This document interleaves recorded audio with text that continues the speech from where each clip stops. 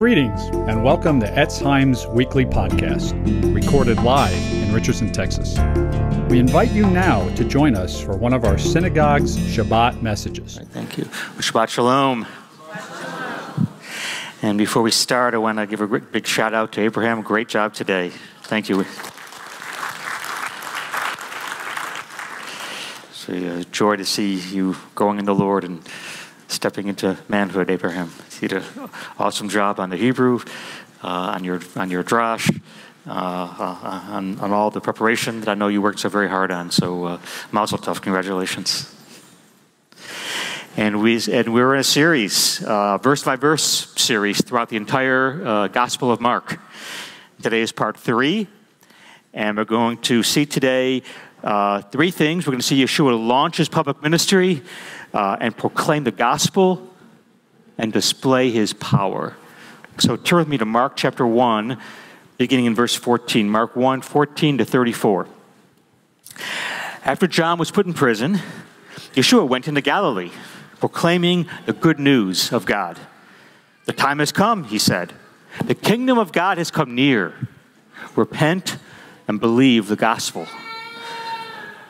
As Yeshua walked beside the Sea of Galilee, he saw Simon and his brother Andrew casting a net into the lake, for they were fishermen. Come, follow me, Yeshua said, and I will make you fishers of men. At once they left their nets and followed him.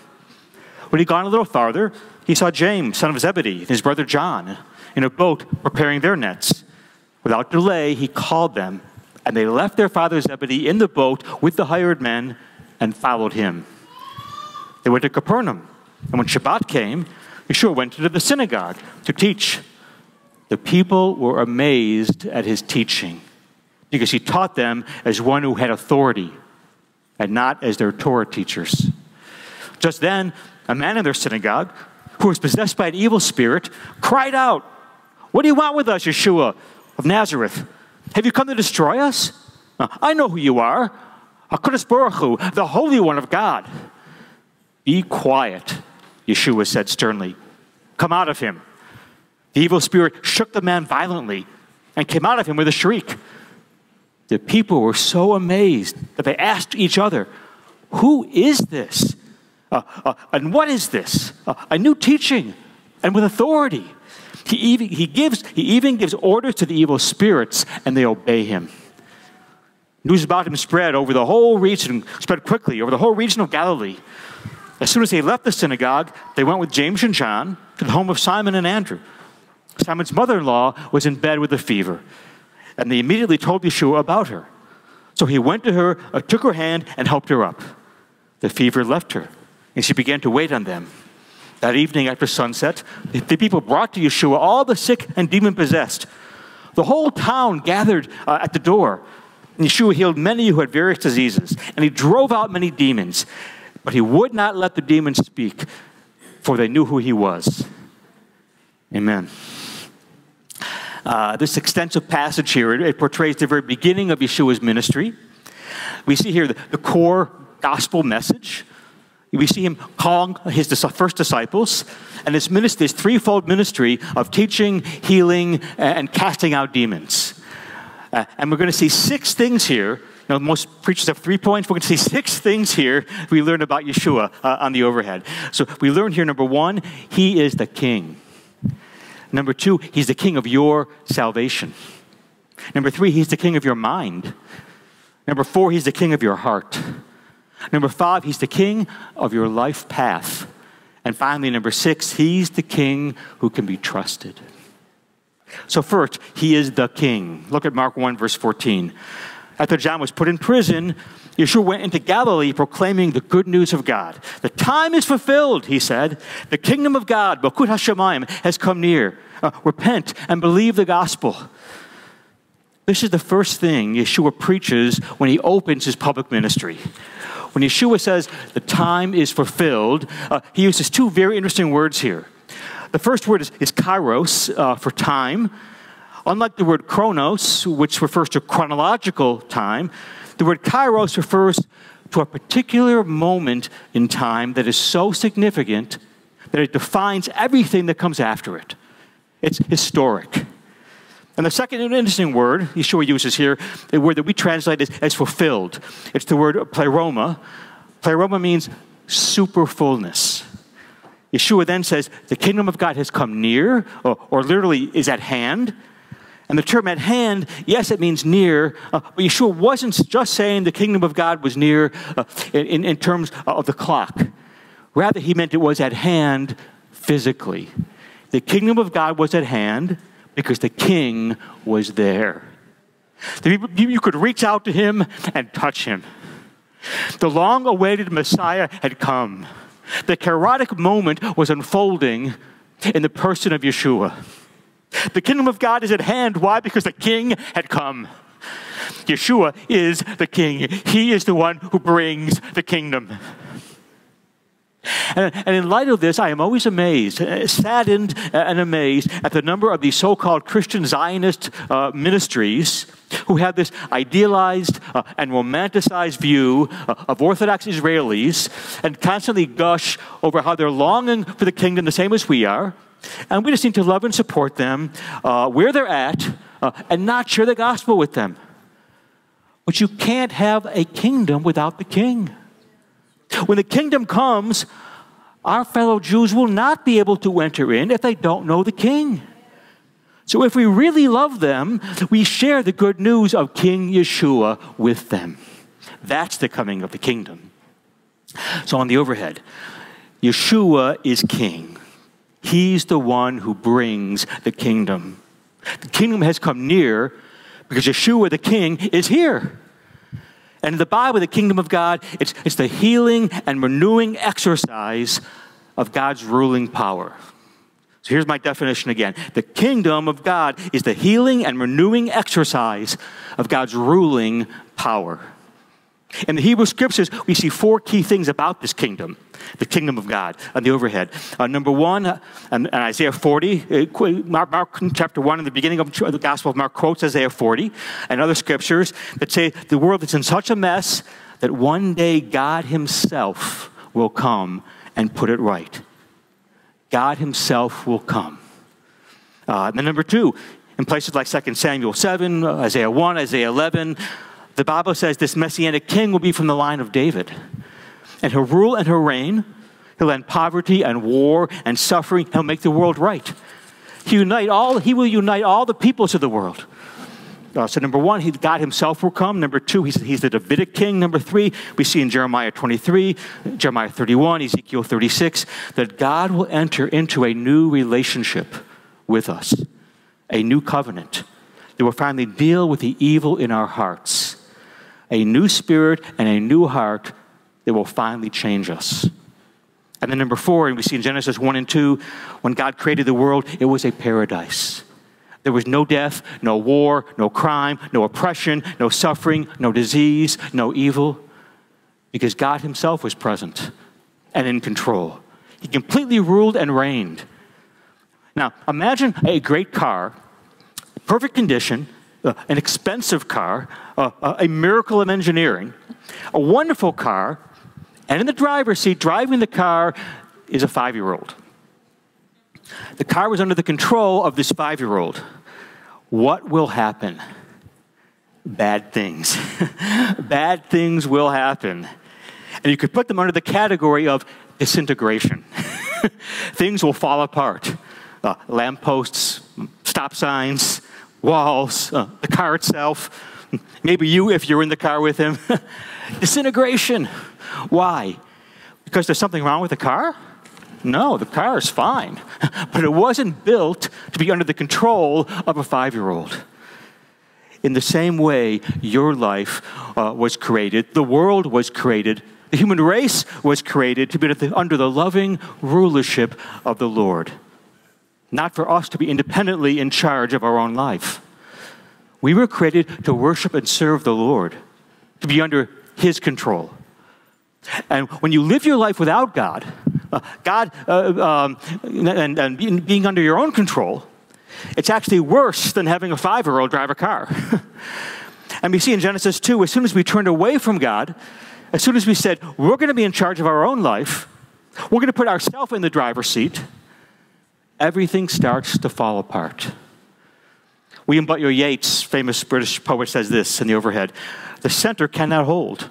Mere anarchy is loosed upon the world. We fall apart. We fall apart spiritually, psychologically, socially, even physically. When we try to control our own life, it all falls apart. Why? Because we were built to serve Him. And when we instead serve ourselves, and we're our own lords and our own masters, our own kings, when God's ruling power no longer holds sway over us, over our life, over our world, things fall apart. Because we're going against the grain of the universe. We're going against, against the fabric of reality. Here's a very small example. Let's say someone wrongs you, really wrongs you. What should you do? Yeshua says, our king says, you must forgive. Uh, it's, the God, it's the word of God. It's a commandment. Uh, you must forgive. You must, you must no longer hold a grudge uh, against that person uh, or seek retribution, but forgive him or her from your heart. Now, what if we don't? What if we refuse? If you won't forgive, you take, you take, you're taking your own life in your hands, you're being your own Lord and Master. You're making yourself the judge of that person. You're sitting yourself in the judgment seat. And what's going to happen? If you're really angry at them, bad things will happen. Disintegration. Uh, it won't be good for you. Uh, it won't be good for you psychologically uh, because you'll be racked with fear and with anger. It won't be good for, for, for you for other relationships you have. If, if you stay angry at this person, you'll tend to generalize uh, and, and, get more easily angered at others. It'll hurt your relationships. No one likes a bitter person. It might hurt you even physically. Uh, holding on to your anger, it creates stress uh, and ulcers and high blood pressure and, and, and heart problems. What's going on? It's a miniature version of what happened in Genesis. It's a miniature version of what happens all the time.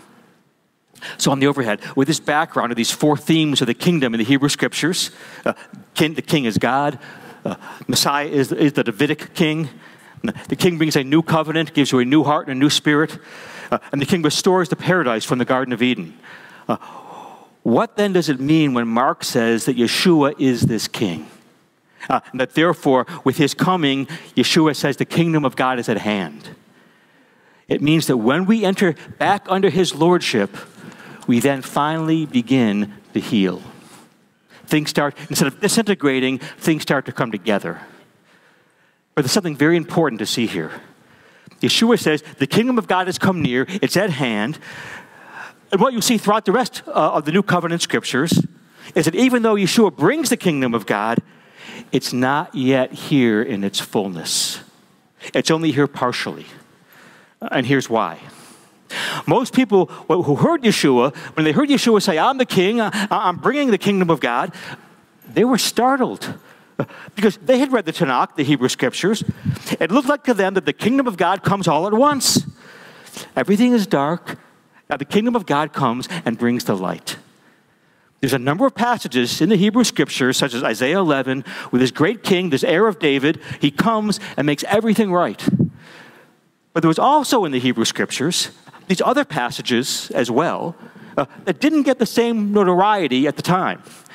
Uh, like the now famous suffering servant passages like Isaiah 42, Isaiah 53.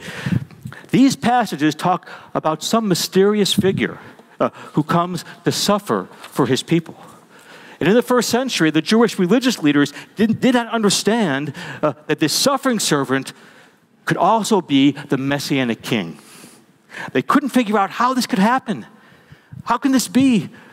In fact, to, to solve this mystery, uh, they came up with this theory there had to be two messiahs uh, instead of one messiah coming twice.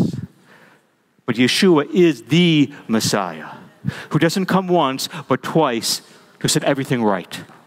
He comes the first time not in power and judgment to put down all evil, uh, but in weakness to bring mercy and grace and atonement. And someday, I think soon, he will return at the end of time to put down all evil. And then the kingdom of God will be here in its fullness. And what this means is right now, if you are in a true saving relationship with Him, You begin to heal, but not fully. It's not the kingdom yet in its fullness. So, for example, take your self image, uh, your identity. If you're from a traditional culture, your identity is based on, on living up to what your parents think you should do. If you come from a religious background, your identity is rooted in being a very good person who obeys all the religious rules. Uh, and you're very spiritual and you're very religious. If you come from a secular background, which is modern American society, uh, then your identity is based on your performance and your achievement. Uh, I've achieved this and this and this, and that's my identity. That's my sense of worth. Uh, which in modern America, which is modern American society, and in our society, I feel good about myself if I express myself, and, I, and I'm being who I think I should be, based on my own inner desires. Now, all these models for identity, uh, uh, traditional culture, religious culture, secular culture, all these models for identity will ultimately crush you. Yeshua comes in contrast. He says, I give you an identity and a worth not based on your family, not based on your religiosity, not based on your personal performance or achievement, but rooted in the knowledge of the love and love of who you are in me and then you begin to heal. Any relationships can also then begin to heal because of the incredible capital you've got now got in your identity, uh, in the Messiah. So now you're, you're able to forgive, and you're able to be open, and you're able to recognize the humanity of those who are different from you, who look different, who speak different, who have different views. You recognize their humanity. It begins to change your perspective. You realize that God, God is in charge and He knows what He's doing. So when bad things happen, instead of freaking out, you say, maybe there's some reason for it. So, in all these sorts of ways, when you enter into, into a relationship with King Yeshua, you begin to heal. Why? Because the kingdom of God in Yeshua has come near. So, the overhead number one, he's the king. Number two, he's the king of your salvation. Because he doesn't just say the kingdom of God is at hand, but he then goes on to say, repent and believe the good news. Now, the word he uses here for, for good news uh, is, is, gospel. It's a Greek word euangelion or evangelion. Uh, uh, the good message, the good news. The word gospel means news of a great historic event. It's a report or news of some incredible thing that's happened. Uh, on the overhead, it, what, this word was not used for daily news. No, it meant some great event that changes history and changes your life. So, for example, we have an inscription that's come down to us in the Greek from the first century that reads like this The beginning of the gospel of Caesar Augustus. It was an announcement of his coronation. When Augustus became emperor of Rome, it changed the world. It was history making, it was life changing for everyone living in the Roman Empire. And therefore, it was a gospel, a proclamation of historic news. So, what was Yeshua saying when he said, My message is the gospel? A gospel, actually, the gospel. What he's saying is, I am different from every other religious leader you've ever heard of or ever will hear of. Because in every other religion, the core message is not news, but advice. Advice, meaning instruction of how you should live. Every other religion says to get to heaven or, or, to reach the divine, you have to live like this, you have to do these things, and then you'll, you'll connect with, with God, then you'll be able to commune with the divine, uh, enter paradise, and the overhead. And therefore, the core message of every other religion is always advice advice about what you must do. But in contrast, for Yeshua faith, the core message is not advice, it's news. Not what you must do to connect to God, but what, what has already been done. It's news that Yeshua has died and rose again, and that He did it for you to atone for your sins. You see, if you're saved by what you do, then the core of religion is advice. But if you're saved by what Yeshua has done, and we access His finished work by repentance and faith, and the core message of Messianic faith is not advice, but news. The central message of Messianic Judaism isn't that you're saved by your record or your past, but because of Yeshua's record, and Yeshua's past. Indeed, the moment you repent and trust in God and trust in this good news and rest in that and say, Father, accept me for what, because of what Yeshua has done, that moment you are as loved by God as you will be a billion years from now when you're perfect and glorious. And the minute you repent and trust in Him, you begin to participate in the kingdom. But if instead you continue to think that Yeshua faith is advice, uh, this advice model, if you view Messianic faith as basically advice, advice on how you should live and, and how to be saved, and how to obtain God's blessing, if you continue to use this advice paradigm instead of uh, to understand Christianity and Messianic Judaism, then you are cut off from the kingdom of God. You're not connected to God. It's only when you shift your paradigm from advice to news, uh, uh, and you acknowledge that it's not based on how I live, but how, how, how Yeshua has lived. It's not based on what I've done, but what Yeshua has done, that is what saves you. And then you begin to participate in the kingdom. Then you begin to heal. And when Yeshua returns and sets up the fullness of his kingdom, then you'll say, The exile from paradise is over. I've come home at last. This is my real country. I belong here. This is the land I've always been looking for my whole life, but didn't know it. And now I want you to notice how central repentance is, teshuvah, repentance is to Yeshua's gospel message. Sadly, this key element is missing today from so many so called gospel messages. But Yeshua's gospel was repent and believe. The moment the king came was a moment of profound crisis. In Greek, this word crisis it means also means judgment. When the kingdom broke through and Messiah appeared, it brought the most profound crisis mankind has ever faced. And the crisis was this those who repented and trusted in Yeshua would receive eternal life. Those who did not would face God's judgment. Yeshua was saying to our fellow Jews, Your crisis is right now. And he's saying the same thing to you and to me today. No one can hear the gospel and walk away indifferent. When you receive the gospel, it's, it's the greatest moment of your life. But if you reject the gospel, you bring the greatest judgment upon yourself. And today, what, what, much of what passes for the gospel consists of things like a call to come forward, uh, uh, raise your hand, uh, sign this card, pray the sinner's prayer.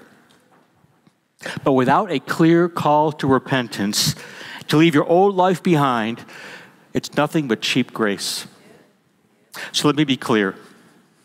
No one can enter the kingdom of God without repentance. That is, without fleeing from your sin and putting your trust in Yeshua alone. Indeed, this is how Yeshua himself did evangelism. He proclaimed the gospel and he said, Your response must be to repent and believe in me, the king. So, on the overhead, number one, Yeshua is the king. Number two, he's king of your salvation. Number three, he's king of your mind. Mark 1, verse 21. They went to Capernaum, and when Shabbat had come, Yeshua went into the synagogue and began to teach. The people were amazed at his teaching. Why?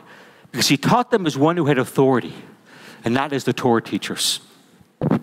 Yeshua's authority was dramatically different from, from the Torah teachers uh, in two key ways. First, when the Pharisees and the scribes uh, and the Torah teachers taught, they always did so by citing other earlier rabbis uh, for their authority. So you read a page of Talmud, uh, for example, it always says something like this. Uh, Rabbi Akiva says in the name of Rabbi Gamaliel, who says in the name of Rabbi Yaakov, such and such. They would always cite other rabbis uh, for their authority, uh, kind of like scholars do today with, with footnotes and citations, but not Yeshua. He never quoted other rabbis. He spoke of his own, he spoke on his own intrinsic authority. Number two, secondly, the Torah teaches if they wanted to, to appeal to the ultimate authority, uh, they would also cite the scriptures uh, as well. And they would say, It is written. Even the prophets who had direct revelation would say, Thus saith the Lord. But Yeshua comes along and he says, I say unto you. Yeshua claimed original, not derived, authority. Even the prophets never dared to speak like this. They would say, It is written, or, or thus saith the Lord. But Yeshua says, I say unto you. Or in the Old King James, Verily, verily, I say unto you. And we don't realize how, how astounding that statement is. Literally, he was saying, Amen, amen, I say unto you.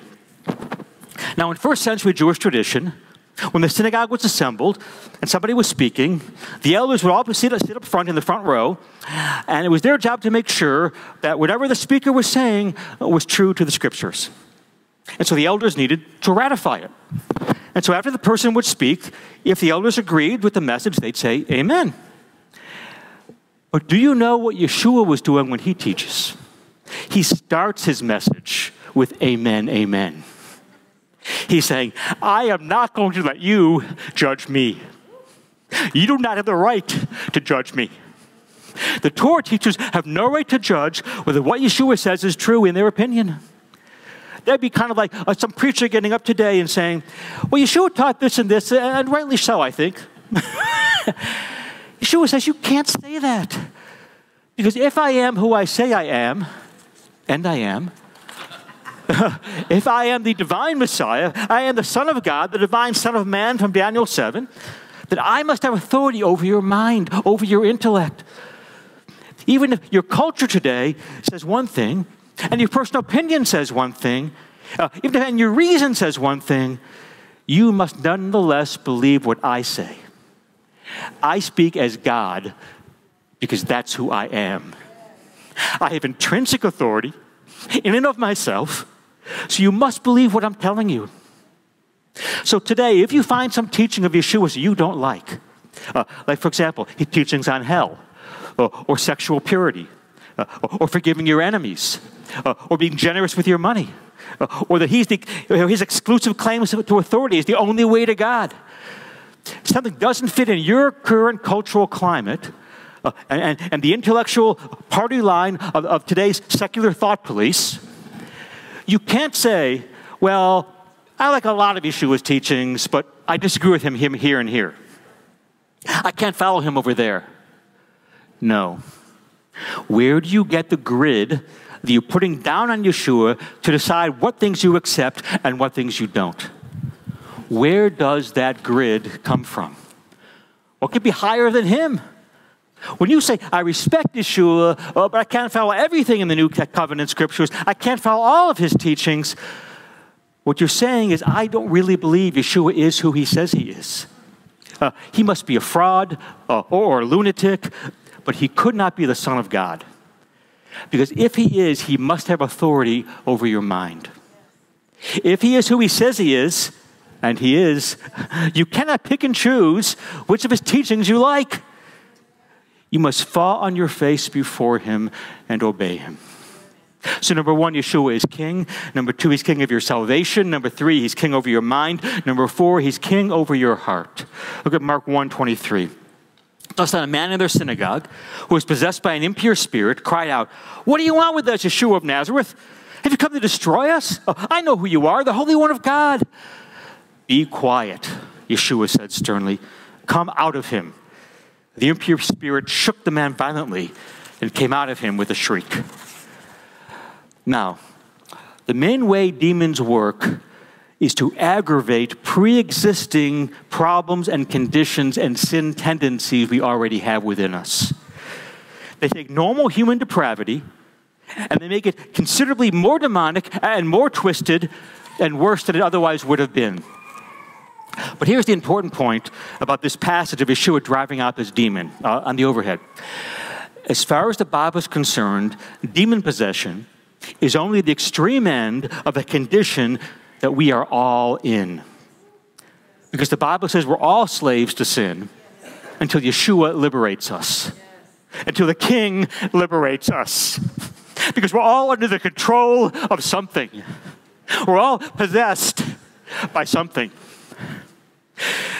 There's a secular author I really like, uh, David Foster Wallace. he had this now famous uh, commencement address at, at Kenyon College.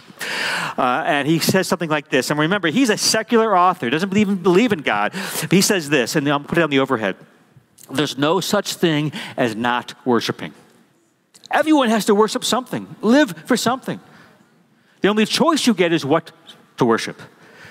You probably, he, he goes on to say, you probably should worship God or Jesus or Allah or, or some supreme being because anything else you worship will eat you alive. If you worship money and things, if they're where you tap real meaning in your life, you'll never have enough. You'll never feel you have enough. Worship your body uh, and beauty and sexual allure, you'll always feel ugly. And when time and age start showing, you'll die a million deaths before they finally take you away. Worship power and you end up feeling weak and afraid. And you'll need more and more power over others to numb you to your own fears. Worship your intellect, being seen as smart, you end up feeling stupid, a fraud, always on the verge of being found out. But then he goes on to say, but the insidious thing about all these forms of worship, tapping into the meaning, is that they're unconscious. They're your default setting.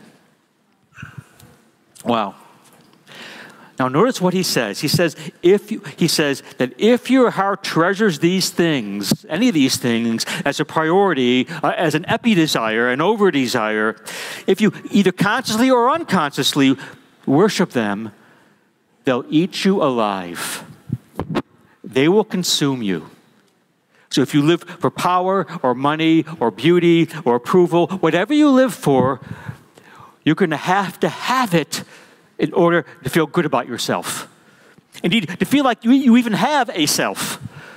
And if something gets in the way, you're paralyzed by fear or by overwhelming anger towards whatever's blocking you. And in this sense, you are possessed. And the only thing Yeshua says that can liberate you is me. Why? Because Yeshua says, I am the only master who will not eat you alive. I'm the only master who will forgive you when you fail. If you worship your career and you have a setback, uh, you have a failure in your career, your career will never forgive you. If you worship beauty, the mirror will never forgive you. Never. Yeshua said in the overhead, I'm the only master who will forgive you when you fail. On the overhead, please. Yeshua says, if I'm the source of your value and your meaning and your hope, I forgive. I'm the only master who will not eat you alive. Now, how does this healing begin? Look at the first four people who are called here to be disciples. Look at Mark 1:16. It's sure he walked beside the Sea of Galilee. He saw Simon and his brother Andrew casting a net into the lake, for they were fishermen.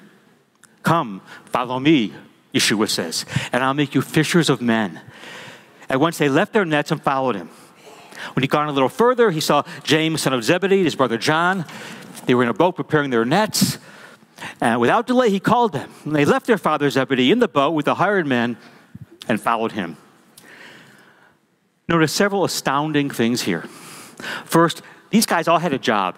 But Yeshua says, I must be more important than even your job. Second, they had a father. Uh, and this is a patriarchal culture. But Yeshua says, I've got to be more important even than your family. You have to, you've got to uh, love me and trust me and serve me more even than your father. I must have supremacy in your life. Because otherwise, you, your life will not truly begin to heal. When Yeshua bids a man to come to him, he bids him to come and die. Yeshua, when Yeshua calls you, he's calling you to fully give your life to him. You must leave all, surrender all, die to yourself, take up your cross, follow him. My holy brothers and sisters, you are what you love the most. And what's wrong with us is that the loves in our heart are disordered, they're out of order. So, for example, if you love your job more than your children, you're going to destroy your family. But if you love your children more than you love God, you're going to smother and crush your children. Only if things are, are reordered will your life start to work.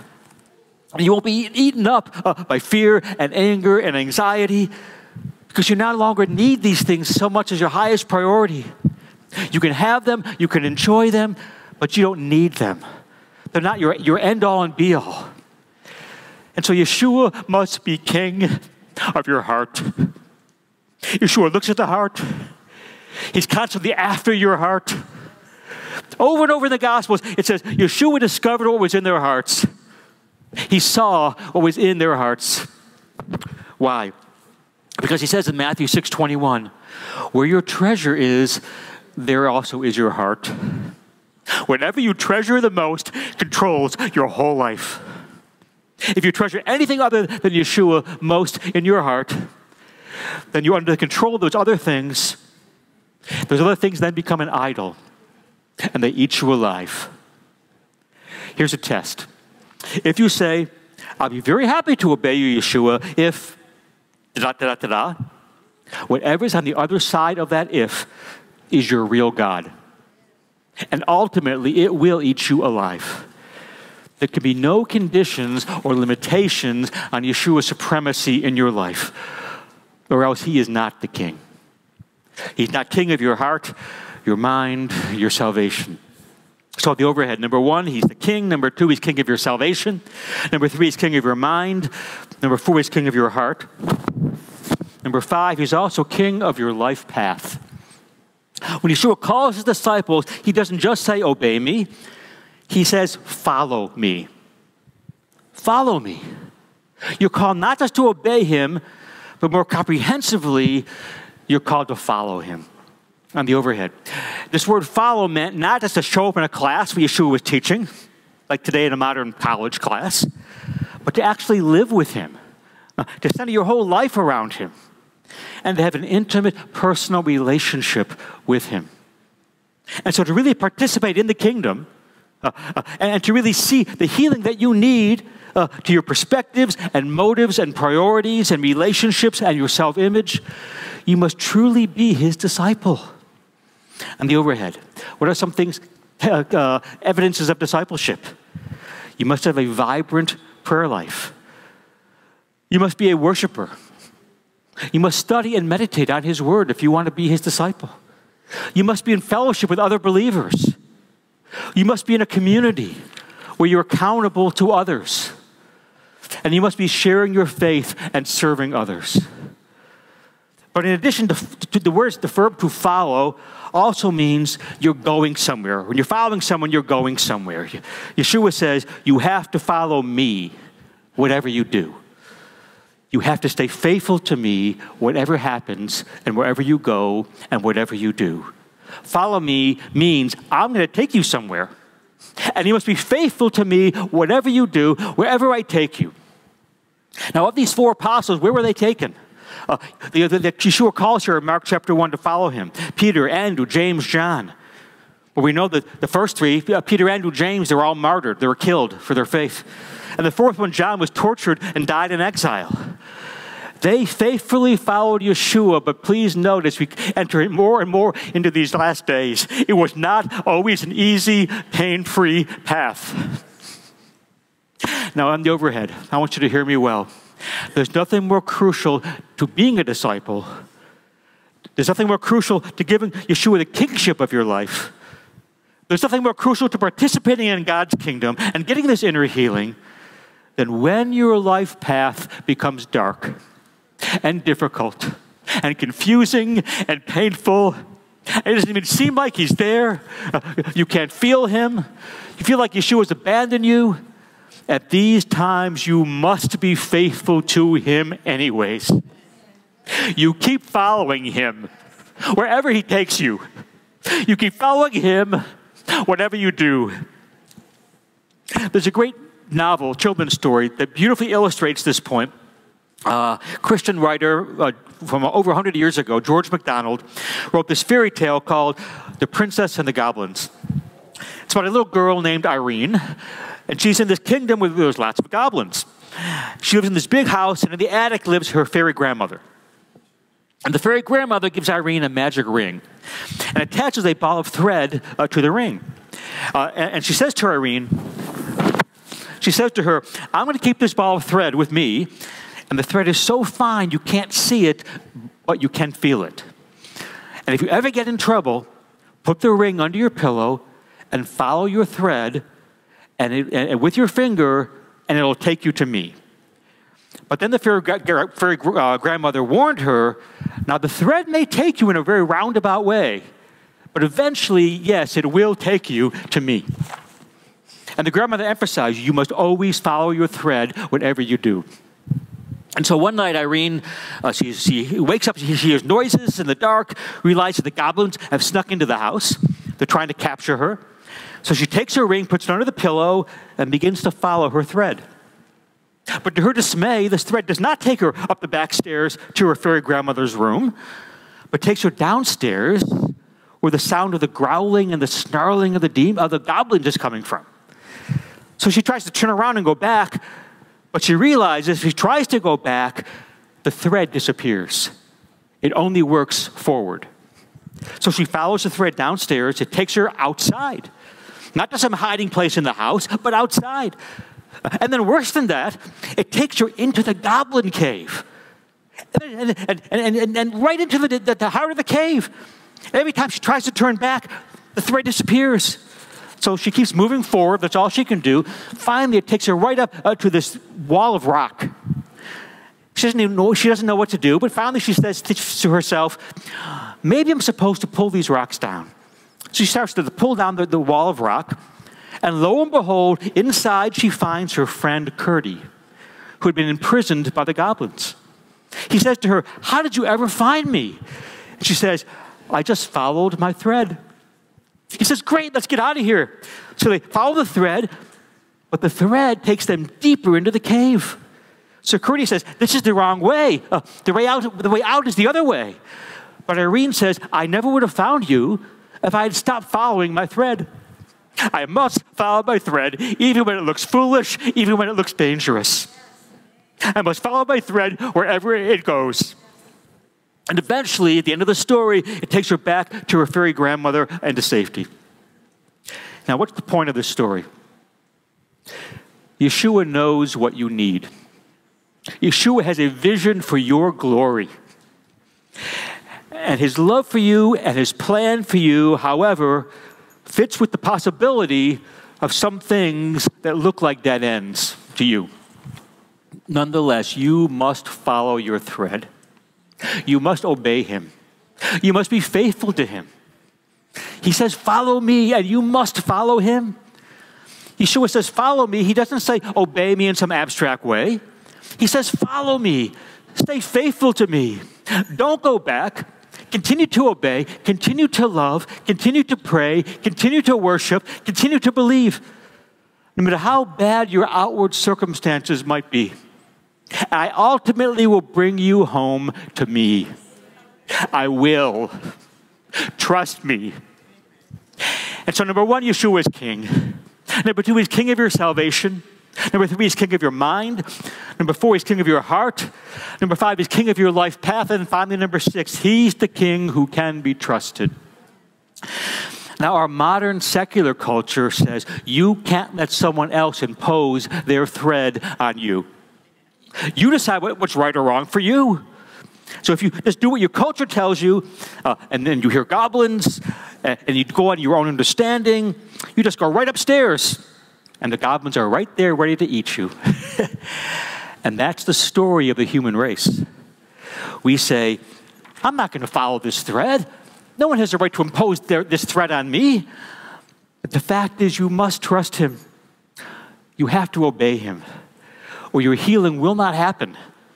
You must give up the right to self determination. You say, Well, how can I trust him? Interesting, look at Yeshua's uh, healing of, of Peter's mother in law here at the text. Look at Mark 1, verse 30. Excuse me. Simon's mother in law was in bed with a fever. They immediately told Yeshua about her, so he went into her, took her hand, helped her up, and the fever left her, and she began to wait on them. Notice Yeshua, he went out of his way to take her hand and to help her up. He did not need to do this to heal her. This is typical of Yeshua unnecessary kindness and tenderness and compassion. He could have simply said, You're healed. But over and over again, look what, look what he does. He touches the leper. He puts his hand in the mouth and the ears of the deaf mute. Here he takes her hand. Unnecessary. He has the power to heal just by willing it. But he goes out of his way to show tenderness and compassion because that's who he is. And here's further reason why you can trust him. You know how the story ultimately ends, right? Well, Yeshua, he calls James and John to leave their father, but Yeshua had already left his father. He left his father's throne above. On the cross, he really is going to lose his father. And he bled and he died for you and for you and for you and for you and for me. The thread of God's will for Yeshua took him to hell. But he knew at the other end of that thread was your salvation. Here's how you can trust him. If he found his thread into absolute cosmic rejection and nothingness, into hell itself, you can follow your thread for him. He did all that for you.